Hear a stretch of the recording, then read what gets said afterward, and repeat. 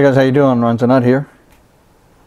Well, I'm going to be installing a Hyper 212 Evo CPU cooler on a i7-3770K processor. So I'll be using the uh, 1155 mounting for this cooler.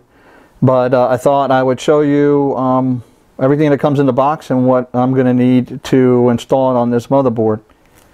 So uh, here's a quick install guide on how to install a Hyper 212 Evo CPU cooler on a 1155 LGA chip. So inside the box you get instructions. There's also another set in multiple languages. You get a fan. This fan is a uh, uh, PWM controlled fan. It's a four pin fan, which is nice. This is, looks like one of them Sickleflow style design fans. It's a 120 by 120 by 25 millimeter fan. It comes with uh, a set of brackets on here already so that you can clip it right onto the tower. It actually comes in the box mounted. And then um, one thing to note is they've already they installed the brackets using four screws and some anti-vibration mounts. Um, those are rubber pads, so when it touches the uh, cooling tower, it doesn't vibrate and sound, put a lot of sound out. Um, we have here the cooling tower itself, four heat pipe design with a protective label on the bottom, the copper portion that touches your chip. And then over here, the uh, some of the key mounting pieces. This is your base plate that you mount to the underside of your motherboard. The uh, bracket that will, once your mounting plate is mounted, this bracket sits through the CPU tower and holds it down to your motherboard. The four standoffs and nuts that uh, you will use to secure the mounting plate to your motherboard. And they also provide you a tool, basically it lets you use a Phillips head screwdriver to act as a wrench to tighten down these standoffs. So they are the perfect mount for the uh, for the standoff right there. And you also get here, if you wanted to add a second fan to the tower, you get a set of another set of brackets. You get four screws for screwing the bracket uh, to the fan. And then there's actually four pads, four more rubber uh, anti-vibration pads that you would use to cover up those screws when you uh, um, put it against the tower. And then you also get a set of standoffs if you're going to be using this cooler on a uh, LGA 2011 socket, but we're not, so I won't be using that. You also get some Cooler Master thermal paste, which is great, um, but I won't be using that. I'll be using MX4. So this stuff I won't be using in my install, and I will be replacing that fan with a different fan. So uh, let's get down to it. Let's get the brackets mounted to the motherboard and uh, get it installed. All right, in order to install the support bracket for the cooler onto the motherboard, you need the support bracket itself. You need the four standoffs um, that are for the 1155 or 1366, 1156 setup. It's the only other set of standoffs they have in your in your uh, box aside from the LGA 2011 four nuts that go with it and if you're going to use the uh, tool they provide here for securing the nuts in the standoff that and a Phillips head screwdriver. Okay in order to install the uh, bracket what we're going to need to do first is put a couple of standoffs through the motherboard and then flip the motherboard over so that we can then line up this bracket. So I'm going to attempt to do that now and hopefully you can see. Alright so what I've got here is one,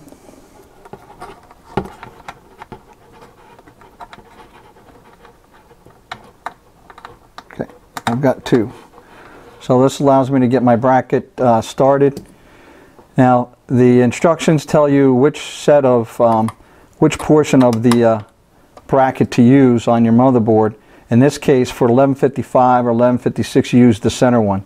You could adjust it on the outer or the inner depending on your processor, um, but that is the one that I need to use. So I, I have to install a couple more here. There's four of them. Right now I'm just going to get these started and on the, uh, to hold the plate in place. So right now we're just getting them on finger tight.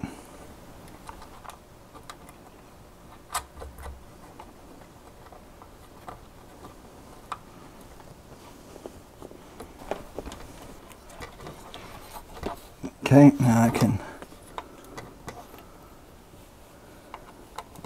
the next one through.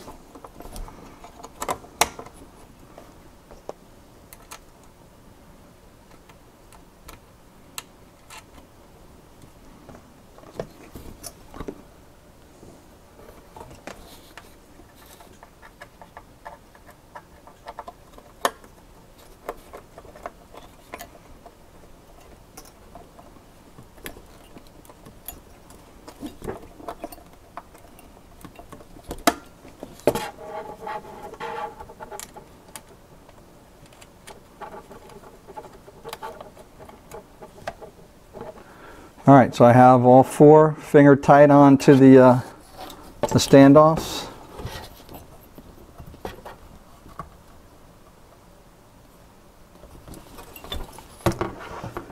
Now what I'm going to do is put the, using the tool they gave you, I'm going to put it across and using, again, finger tight, I'm holding on the other side, I'm holding down the head of the standoff on the other side of the motherboard.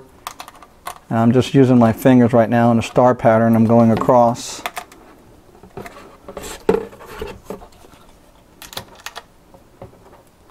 So, so far I've only done it using finger tight. Now I'm going to go back and uh, again on either side I'm holding down this standoff that I'm tightening up. I'm going to tighten it up a little bit tighter with the uh, screwdriver now.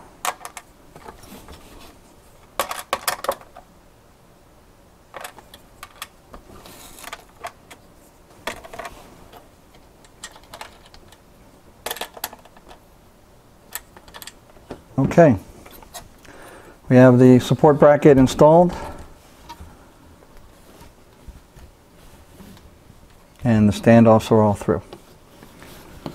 Okay, now it's time to put uh, some thermal compound on the uh, on the CPU, and then we're going to mount the tower and secure it with the support bracket. So uh, that CPU I've I've touched I don't know if you can see on it, it's got some uh, fingerprints on there, and so I have some uh, ArctiClean that I'm going to use to clean it off and purify this guy here. So this is a thermal material interface remover. You can probably just use just um, real pure uh, isopropyl alcohol, but like 99% pure stuff. So I'm just cleaning this guy off good.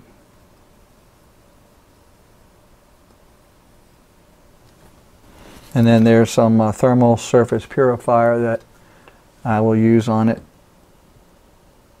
as well to get it really, really clean. All right. Nice and clean. Now, the way this, and then you got to be careful when you're on, this thing is a heavy chunk of metal. Uh, you know, I, I'm kind of wielding it pretty fast around here, but going to mount just like this. Now you can see that this does clear the heat sinks on this motherboard just fine. So it's going to be mounted like that.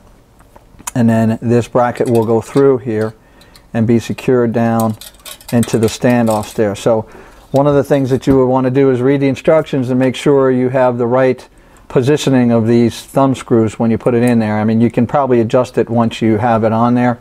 But in order for this to be done pretty quickly, I'm going to get it set right now. They should be right in the middle.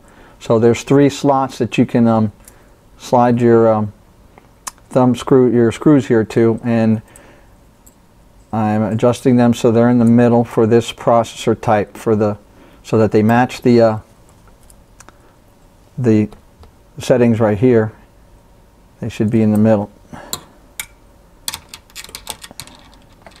And they do line up just fine.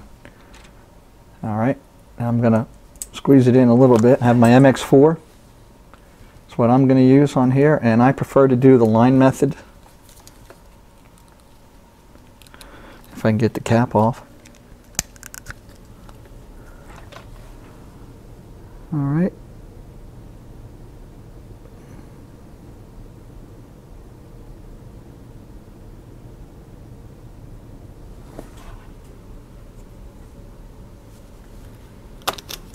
We have thermal compound applied. Now I'm going to peel off the uh, plastic and get my bracket laying through and there's a little I don't know if you can see it but there's a little tiny um, hole right in the middle of this block and I'm going to put it so it's laying inside there now I'm actually going to spread out the uh, the bracket so it lines up really really well with my right over top of my standoff so hopefully you can see this okay.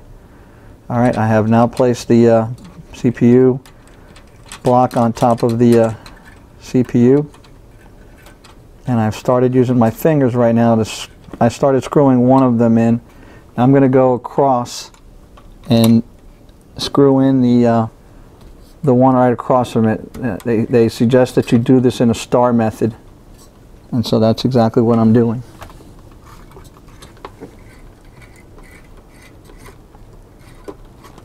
All right, so I've got these two started. Now I'm going to go and secure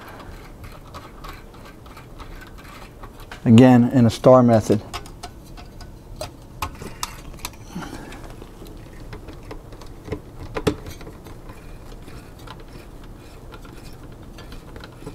You're not sure what that means, star method just simply means to do it in a crisscross pattern.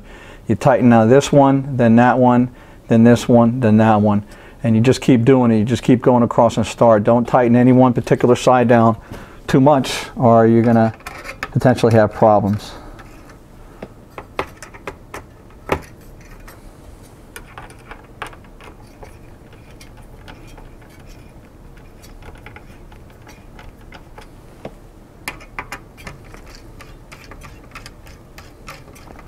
I'm trying to do about 10 turns per.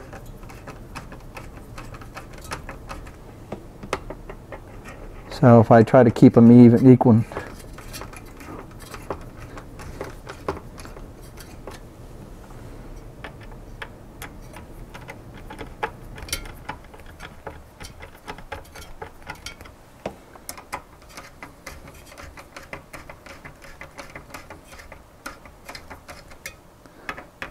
Actually uh, what will happen is I think they, it will bottom out. It will stop when it hits the, uh, as far as it can go. Yep.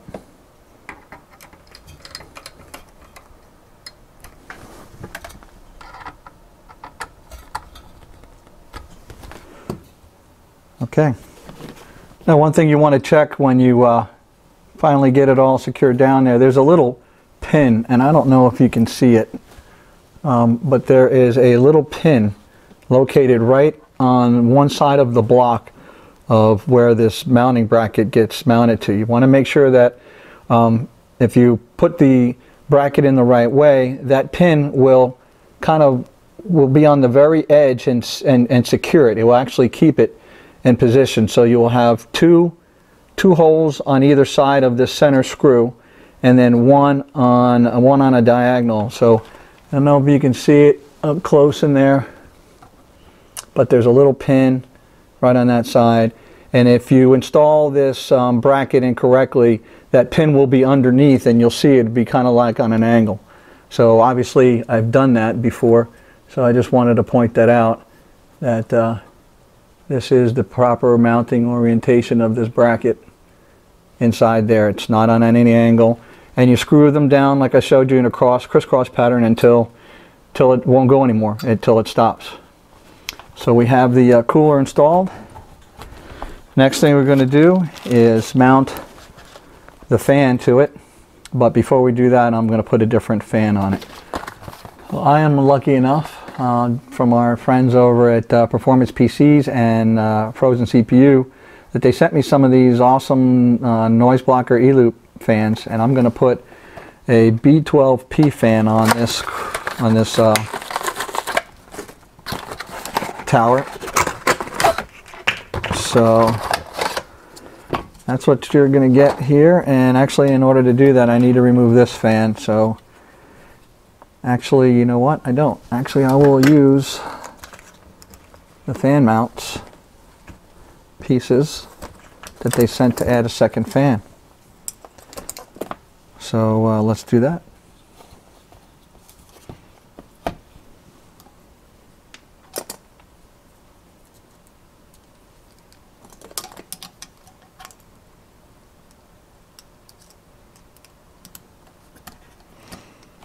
This fan actually has some uh, anti-vibration properties to it itself already. It has some rubber in the corners there, which is cool. But I still will use the little pieces that they provide as well.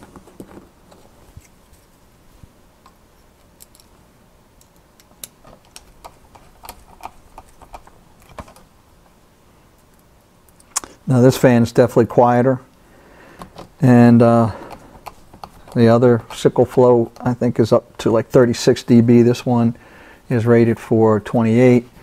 Um, but I've run some tests on it and they are pretty quiet and this one does have some really good static pressure so that's what we're going with. All I need to do now is get the uh, extension cable to go from this to the motherboard. Alright, so now we're going to install the fan. But one thing we need is this four pin piece here. And we're going on to the CPU fan connector on this motherboard, which is for a PWM fan. Hook some cables down underneath here and clip on the fan the way it's designed to be.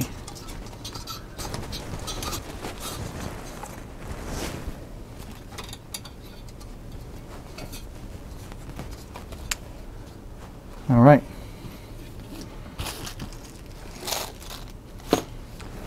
Here we have a fan mounted onto the Hyper 212 Evo.